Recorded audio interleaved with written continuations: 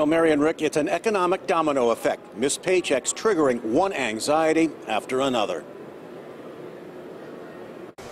They are the most visible federal workers at BWI Marshall, and all TSA screeners are working without pay due to the government shutdown. And when it comes to living off savings, like, oh, you know, you're supposed to have three to six months savings.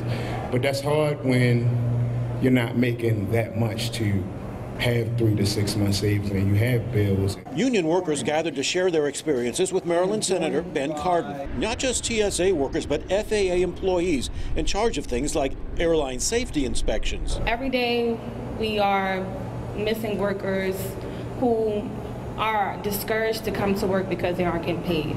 So that creates an effect where we have to do triple the work in order to get the job done. Argentina 1302, you've gone through the final, sir. Turn back right. Air traffic controllers are also working without pay at control centers and airports nationwide. Safety is the nucleus of our job.